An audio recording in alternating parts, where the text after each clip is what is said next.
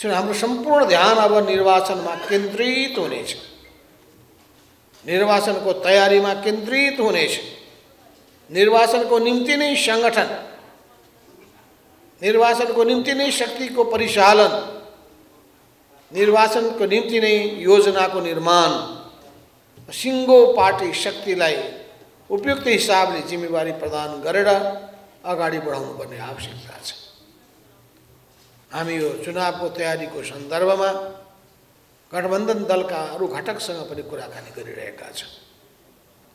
र हाम्रो सहमति रहेको छ कि निर्वाचनमा पनि हामी मिलेर जाउँ। नेपाली काङ्ग्रेसको केन्द्रीय कार्य समिति र कार्य सम्पादन समितिको बैठक बस्छ यसपछि चुनावको बारेमा। गठबन्धन दलहरूको बिचमा मात्रै होइन कि नेपाली काङ्ग्रेस चुनावमा कसरी अगाडि बढ्छ? चुनावी तालमेल को कोसँग गर्छ गर्दैन? त्यो विषयमा नेपाली काङ्ग्रेसले निर्णय गरेको छैन। नेपाली काङ्ग्रेसको केन्द्रीय कार्य समितिको बैठकले निर्णय गर्छ।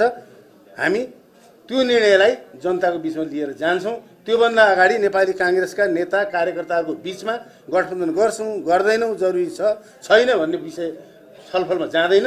र हाम्रो एक महिना अभियान त्यो विषय छलफलको विषय एजेन्डाको विषयको रूपमा जाँदैन।